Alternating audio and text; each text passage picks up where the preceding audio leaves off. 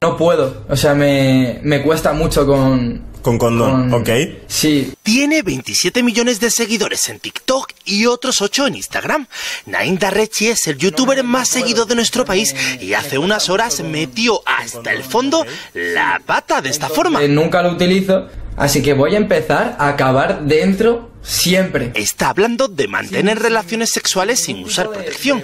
El otro youtuber que lo entrevista se queda a medio camino entre la incredulidad Pero, o sea, a ver, a ver, pero cuando acabas dentro, ellas no te dicen nada, en plan, hey, bro. ah. Sí, pero... Pero bueno, yo les digo que tranquilas que soy estéril. ¿Cómo que, pero bueno, tío, qué dices? y la risa ante declaraciones de este calado. Una actitud que también ha molestado y mucho. La ministra de Igualdad, Irene Montero, ya se ha manifestado con rotundidad al respecto. Quitarse el preservativo o eyacular dentro sin consentimiento es hoy abuso sexual. Y aunque el mallorquín de 19 años ya ha pedido perdón, mentiras como esta a las chicas con las que se ha acostado Tranquila que yo, yo me he operado para no tener hijos. podrían costarle hasta 10 años de cárcel con la nueva ley si alguna de ellas decide denunciarle.